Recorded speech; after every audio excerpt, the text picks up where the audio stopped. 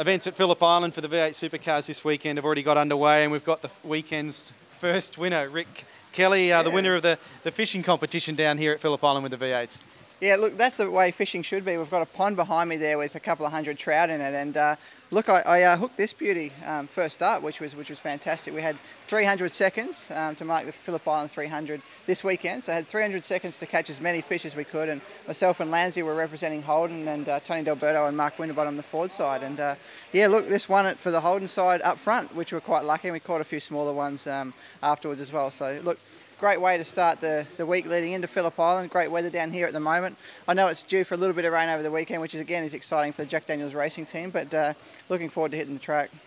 This is a nice trophy, but you're obviously looking for something a little bit more substantial this weekend in terms of some hardware.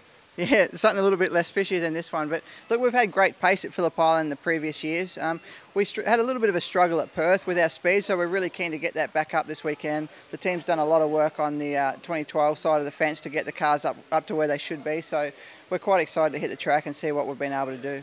A little bit different this weekend, uh, not an endurance race, a sprint race, and also back to just one type of tyre this weekend with a hard tyre as well.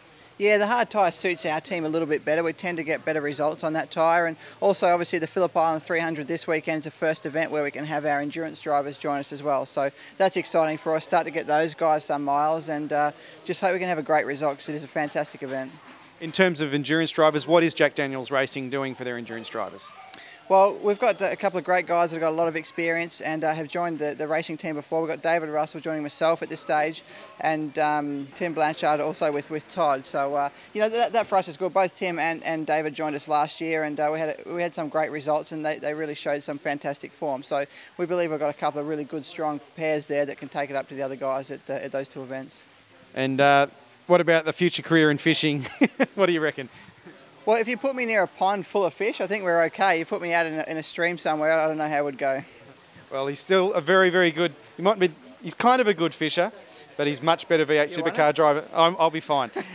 the supercars are on track tomorrow. As Rick said, uh, there is a co-driver session for the uh, endurance drivers tomorrow morning, and then practice for the big guns like Rick and Todd Kelly from Jack Daniels Racing.